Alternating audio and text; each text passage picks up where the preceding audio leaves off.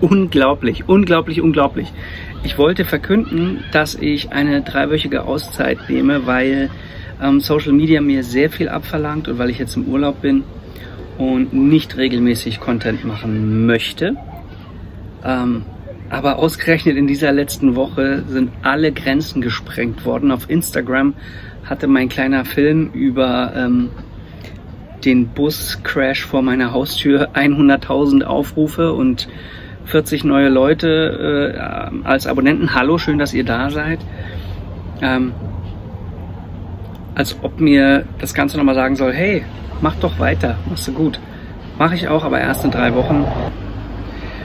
Aber ich will vor allem jetzt endlich mal wieder an Songs arbeiten. Ich habe eine neue Idee im Hinterkopf.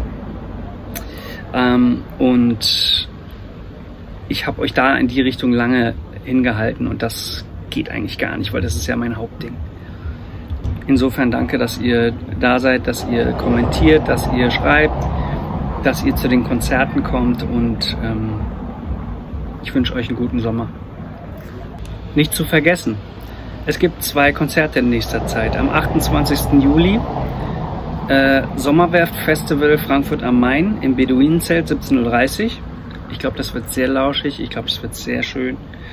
Ähm, das zweite ist bei dem Adria Akustik Festival in Deutzen, Kulturpark Deutzen. Äh, ich glaube aber erst im September. Ich würde gerne mit euch nochmal durch meine Highlight Reels gucken, die entstanden sind seitdem. Da wären das meistgesehene TikTok-Video. Jetzt kommt YouTube Nummer 1.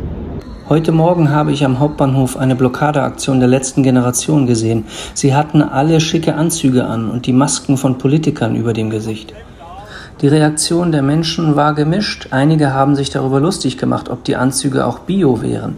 Andere haben, so wie ich, ihre Solidarität erklärt. Die Polizei löst den Kleber mit einer Mischung aus Aceton und Speiseöl. Sie war sehr besonnen.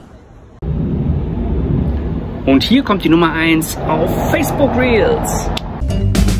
How much is the fish?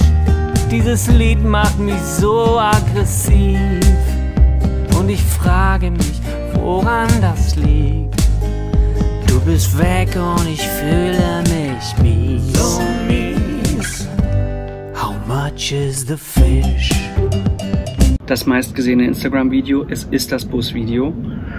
Nanu, wer guckt denn da um die Ecke? Ein Bus? Oh Gott, die stehen ja alle falsch. Und der Weiße völlig verkeilt. Mensch, in der Kurve ist Halteverbot. Na, wie soll man da wieder rauskommen?